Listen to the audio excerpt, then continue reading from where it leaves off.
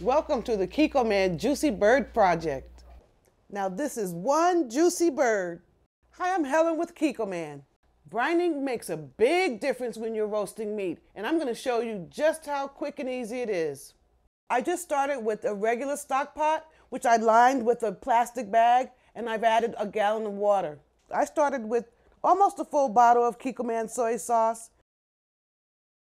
added some sugar and some kosher salt. And then I add in my herbs, dried sage, celery seed, and dried thyme. And we're just gonna stir this until the sugar and the salt have dissolved.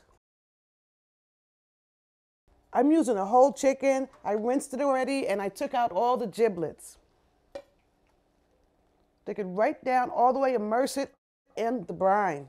And I like to tie my bag and seal it because if there's no room in the fridge, I simply add ice right on the top of the bag and it doesn't dilute the brine. There's no need for a cover. I'm just gonna put this in the refrigerator for at least four hours and overnight is even better. Brining is done.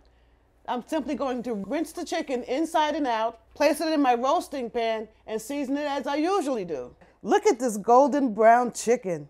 You can serve it with your favorite sides. And let me tell you, the brine won't make this taste Asian or salty. You'll have the juiciest bird you've ever tasted.